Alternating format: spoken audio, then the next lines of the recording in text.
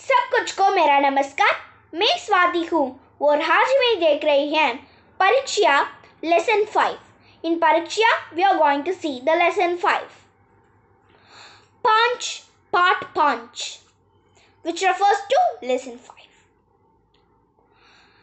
in this lesson will be learning about का के की का के की which refers to of brother of sister of family of parents of like that.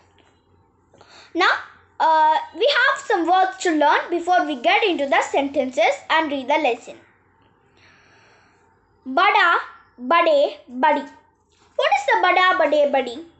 Bada is refers to the uh, boys, singular SM, singular masculine, and badi refers to the plural, and badi refers to singular feminine. Let's read the next one. Chota, chote, choti. As the same way we read for bada, bade, badi, we, we are reading for chota, chote, choti. And the and the only difference is the meaning chota chote choti refers to the small Anger or anything which refers to the small so now let's get into the lesson and read the sentences यह गोपाल है।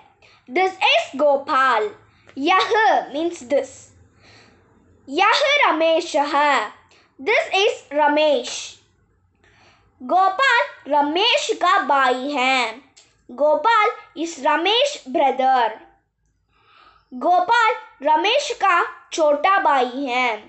गोपाल इस Ramesh younger brother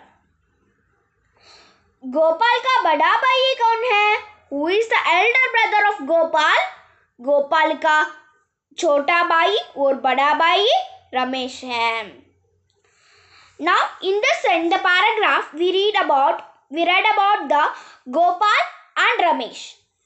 Bai, we read the new words such as Bai and Chota, Kaun, who, Bada, bigger or elder. So these are all the words and the sentences we read in the paragraph. Now let's get into the next one. वह विमला है that is Vimala. See, in the last paragraph, we have read Vah Vimala. We have read Vah Vimala here, and the before the paragraph we read Yah Gopal hai, Yah Ramesh hai. Why Vah? That we refers to that. You are speaking to your friend and you are introducing your sister.